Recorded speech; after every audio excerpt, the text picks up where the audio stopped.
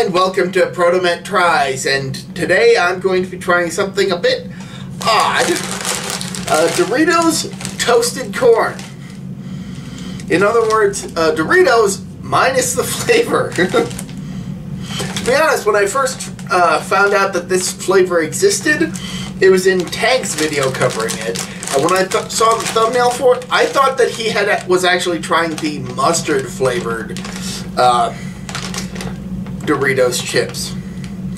I had no idea that uh, Doritos would decide to just make a uh, just a normal tortilla chip. But uh, here we are. Perhaps these are supposed to go with the dips that uh, I tried a few months back. Anyway, let's give these a shot. Certainly an interesting concept. They smell like tortilla chips. They look like tortilla chips. But here's the but here's the true defining moment.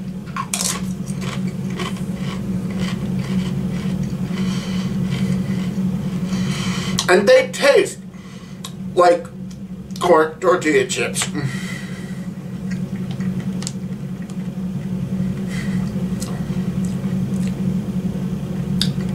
Honestly, I went into this, this expecting them to taste like corn chips, and I am not disappointed. This honestly feels like like the product that Doritos had originally before they started adding the nacho cheese and the Cool Ranch. Is that what happened? Is this is this what Doritos were originally? And then they evolved into the more familiar red and blue packages that we're familiar with?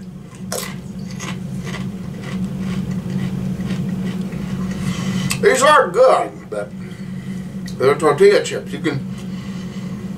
There are like dozens of tortilla chip companies, aren't there? I haven't done a whole lot of research, but there are lots of varieties of uh, corn chips.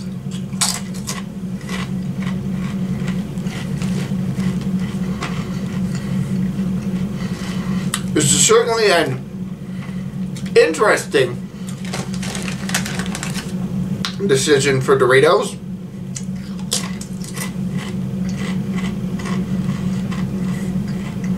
Again, they're good because obviously, if they were, I wouldn't be nomming on them quite so readily. But yeah, this is this is just corn chips, tortilla chips. It's pretty basic. I don't really know what else to say to pad out this video. So until next time, this has been me, Protomet. See ya!